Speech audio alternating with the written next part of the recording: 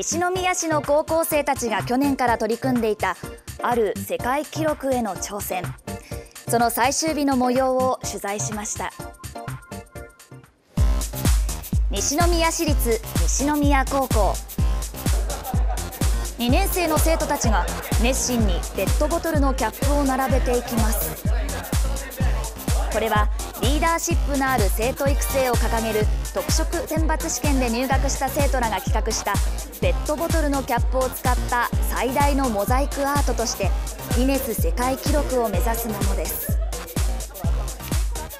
去年の春にギネス挑戦を決め2年生全員で家族や企業からキャップを集めて回り6万9696個を使用。今月8日いよいよ完成の日を迎えました。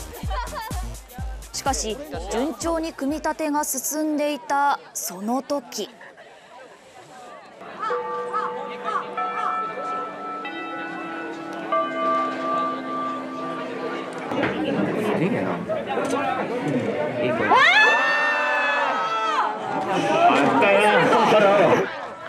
急に強い風が吹き始め作品の一部が崩壊。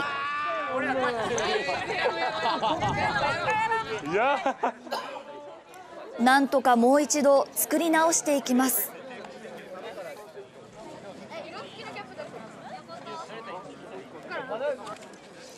そしてこの日のために駆けつけてくれた国家資格である測量士の免許を持つ OB が計測。予期しないトラブルに見舞われたものの果たして記録は？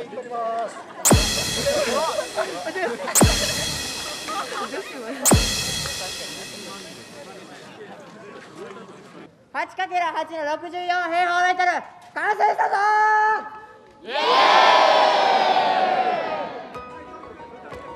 描かれたのは来年迎える創立100周年のロゴマーク。赤白青色などのキャップでスクールカラーの紫に見えるよう計算済み。ギネス公式認定員の派遣を依頼した場合は費用がかかるということで